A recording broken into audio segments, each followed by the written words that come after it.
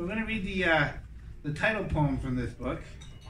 Um, it's kind of a little funny story. When uh, when I came out with this, we, we were searching for a for a title, and um, I just used this title for this poem as a kind of a place mark to put in the in the book while we were kind of laying it out, and uh, I kind of like it. So so uh, we went with this as the as the title of the book.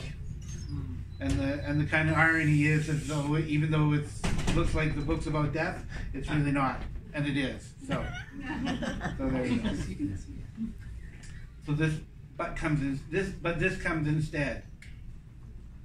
There are too many tepid moments like this one. My heart beating unnoticed in its cage. My neck sore from holding my fat head up. My mind out the window with the shoplifter caught on Main Street, feeling trapped, traffic pretending to go somewhere, me believing it.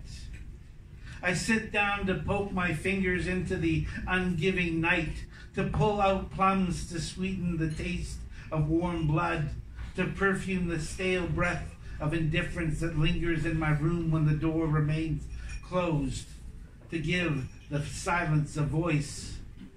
But this old tenement is far from paradise, and the cherry blossom confetti has turned brown underfoot, and the hookers curse the rip-off station wagon driving away.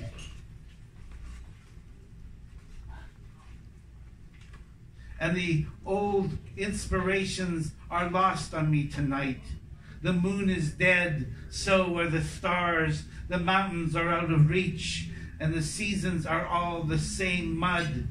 My muse comes empty handed, full of excuses, angry, telling me to fuck off and stop calling. There are times when that rage suits me well, when I bang away ham fisted, when the words are black bruises on the white of page. But tonight, I just wanted to write a love poem, the kind you can't help but smile at. Simple, heady with flowers, warm with sunsets, something safe to send home to mother. No skeletons dragged out or and dangled in front of the neighbors, something to take me out of my dirty underwear, my roach infested nightmares, all the awkward situations I can't bring myself to leave out of my loveless, needy life. I wanted to romance myself, to pull the wool over my own eyes and bask in the gentle deception of a pretty flood of words. My day at the beach, my time in the sun.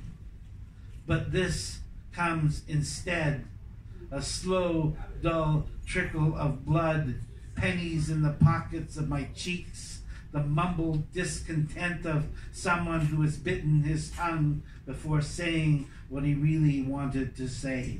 Mm-hmm.